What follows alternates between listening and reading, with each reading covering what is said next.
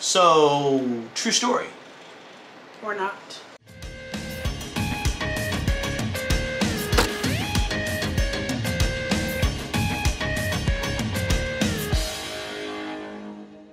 Hello Zany friends and thank you so much for joining us today as we talk about two more books and these ones I like to kind of say, hey, these books could be true, but they're not. So the two books we're going to talk about is One to Watch by Kate Stayman London, The Peculiar Fate of Holly Banks by Julie Valerie.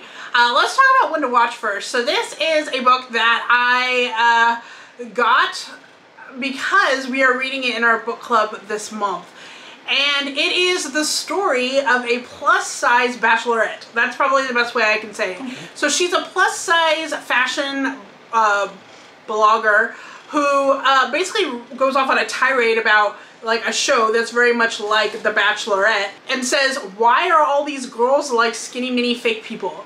And so she goes off on a rant and because of that, the producer of the show contacts her and says, would you like to be on the show to prove a point? to prove that someone like you can find love, even if you're not, even if it's fake, and we all know it's fake. Um, you just go through the motions and do it, and we're, we're trying to prove a point here, right? Like, women don't have to be size 2 and whatnot. And as she goes through this whole process, you're going to find guys that are demons, and like, and I mean like very bullyish idiots. And you're gonna find guys that truly want to be with her, and you're... He's licking my toes. she means my cat. You're gonna find guys who do want to be with her, but you also are gonna find guys who just want to be famous for like 15 minutes.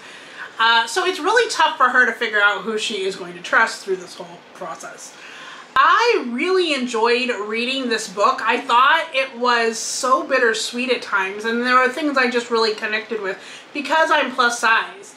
And uh, I'm glad I don't have to date anymore because I am married, but uh, I can understand how something like this would really tear somebody up and like cause them to maybe not have the most confidence or yeah. Even want to date because of how people treat them, especially in this time of social media.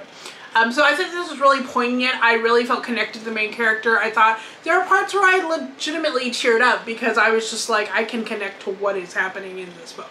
So I definitely like this book. I gave it four stars. I thought it was I thought it was a good good read and I'm actually going to keep it. I'm not swapping it away, guys. Oh. It's keeping that one. um, so the next book we have is The Peculiar Fate of Holly Banks by Julie Valerie. This is actually the second in the series. The first one is Holly Banks Full of Angst, which I legitimately uh, requested from NetGalley uh, because the title was hysterical. So this book I also requested because I had read the first one and I thought it was really cute. It's the story of Holly Banks who has previously in the first book come to this village called Prim and it's like uh, this little like cul-de-sacs of streets. There's like six or seven of them and they all are centered around like this botanical gardens and there's this huge peacock like made of like a topiary um, that's like their mascot. And uh, in the first book, the mascot gets infested with chili thrips, which are, I guess, these like pests that kill off plants. And so the poor peacock, actually she's a peahen, um, she starts to die. And uh, besides that, it's all about how Holly is fitting in in this new place where people like have a lot of money and she doesn't. Uh, she is unemployed. And uh, her husband like has a really good job and of course her daughter wants to go to a good school. Her daughter is very young. So in the second book, they're still reeling from the fact that the peahen is dead and that is kind of bringing a damper to like the entire community that the peahen, their mascot, is, you know, has to go through like thousands and thousands of dollars of repair. So what happens is there's a real estate agent and she tries to organize like house tours for charity basically along with like merchandise and things like that in order to raise money for the topiary to be rebuilt. At the same time, Holly feels like she needs to do something with her life. She was a film major and uh, she doesn't do film anymore so she wants to get back into it but she's not really sure how she can. She's a stay-at-home mom. Her mom her mom is now living with them in the house and she's got a gambling problem.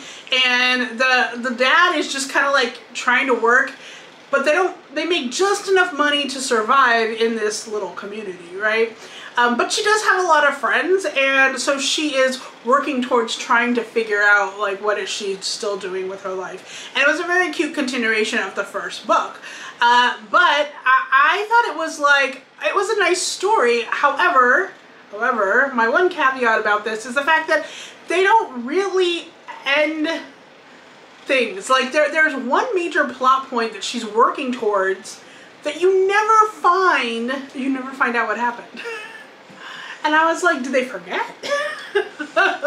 Is it another sequel? i don't know. Good things come in threes. Uh, I, I, i'm sure that's probably what it is. Basically i would have probably given it four stars because i really enjoyed it but i ended up giving it three stars because of this major plot point that never got wrapped up so if there's another book and it wraps it up, you might feel a little differently. about that book sure Yeah. yeah yeah um, so thank you so much for watching our stories of two books that could be true but aren't uh, and until next time Stay zany. bye bye